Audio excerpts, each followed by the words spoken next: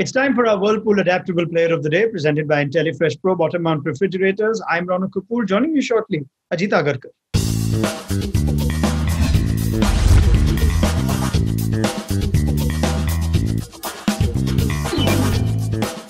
Right, Ajit, in uh, what was a disappointing day for Delhi Capitals and Royal Challengers Bangalore, you've picked a player from uh, the second game from the Sunrisers Hyderabad. One all rounder picks the other, Jason Holder. Thoughts on his performance?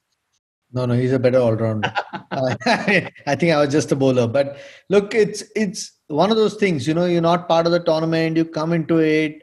Look, he's he's proved himself in international cricket over the last few years and how good he is. But the impact that he's had uh, more with his bowling so far. But even that short little cameo that he's had, uh, it tells you the quality that he has. So.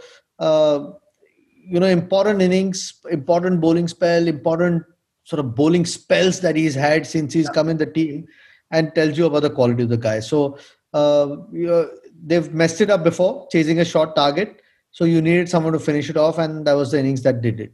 Yeah, you wonder why uh, Jason Holder isn't in higher demand, you'd think, in the IPL, has been part of squads and franchises before. But even though he may not be, I mean, if you count him in the league of Ben Stokes in Test cricket, but in white ball cricket, he may not be in that all rounders league seems to be an intelligent player, brings in a good level of cricket intelligence with him, and finds a way to be effective.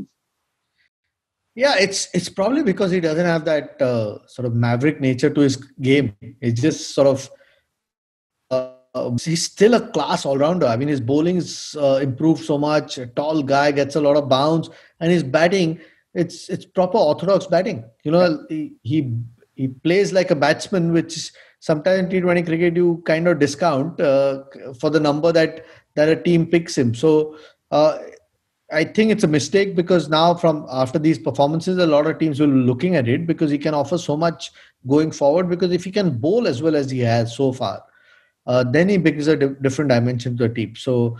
Uh, look, I, I won't be surprised if a lot more teams will be looking at it, and Sunrisers have uh, stolen a march on those teams at this point. All right. Thank you very much, Ajit. Yeah, he came in only as a replacement player to Jason Holder for Mitch Marsh, but you think we'll see a little more of him at least as the Sunrisers' campaign is still alive. Jason Holder is our Whirlpool Adaptable Player of the Day.